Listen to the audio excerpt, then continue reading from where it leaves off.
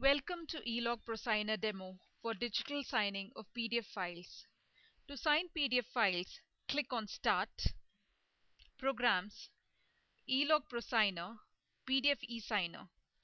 Clicking on PDF eSigner will take you to the PDF eSigner wizard. You can start the signing process by clicking on the signing button. Select the file that needs to be signed by browsing it. You can see the preview of your signature by clicking on the preview button. To change the signature settings, click on the settings button. This will open the configuration manager.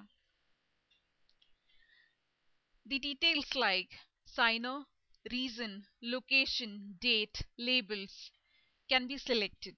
You can also associate your graphical signature image with your signature block. You can create a graphical signature with ProSigner by using your mouse or a WinTab compliant e-signature pad. Save this image as a PDF file. You can mention the page number and the placement of signature.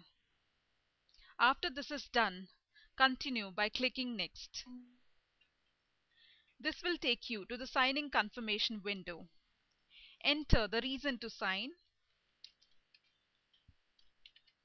location of signing and click next. A certificate selection window will open. This will display all the digital signature certificates present on your machine or inserted e-tokens.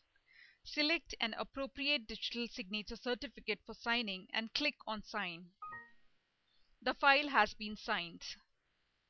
You can now open the signed file to view it. You can see the signature block. The signature can be verified by double clicking on this block. A validation status will appear.